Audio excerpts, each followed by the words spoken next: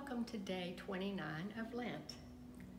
My name is Elsa McDowell, and I am the editor of Words of Grace, which is the monthly newsletter that all members of the parish receive who wish to. You can get it in paper form or some people get it online. And if you'd like to see it, you can be sure to ask your parents to show you. Um, I grew up in Grace Church.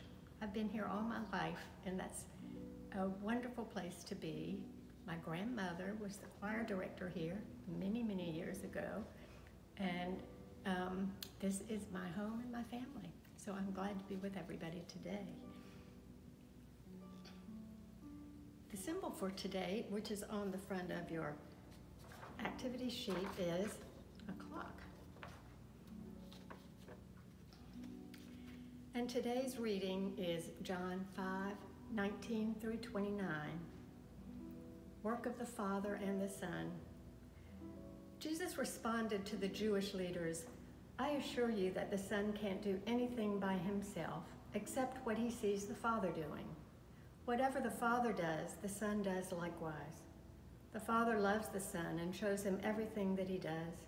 He will show him greater works than these so that you will marvel. As the Father raises the dead and gives life so too does the Son give life to whomever he wishes. The Father does not judge anyone, but he has given all judgment to the Son, so that everyone will honor the Son just as they honor the Father.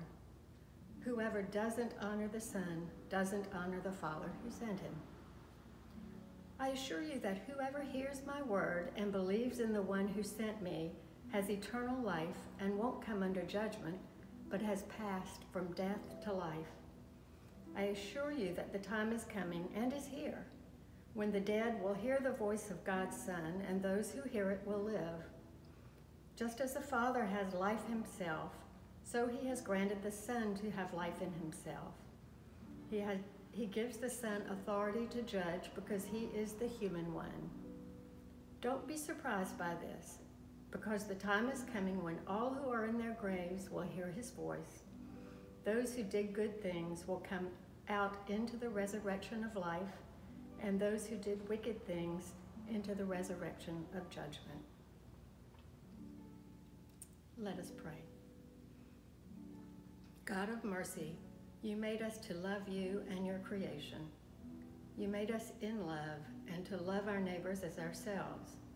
Guide us through the 40 days of Lent and bring us closer to you with prayer, fasting, and giving.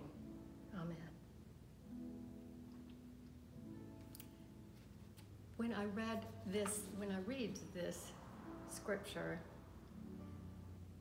the word that keeps coming into my mind is love.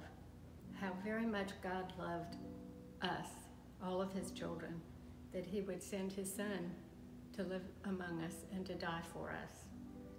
And how very much Jesus loves all of us, that he would be he would play that role. And then I thought about how much as a parent I love my children and that God's love is greater than anything we can imagine. And how we're all children and we're all member all of us here at Grace are members of one family and they, we are all children of God. So I love each of you too, and hope I get to know each of you when we all get back together after the pandemic.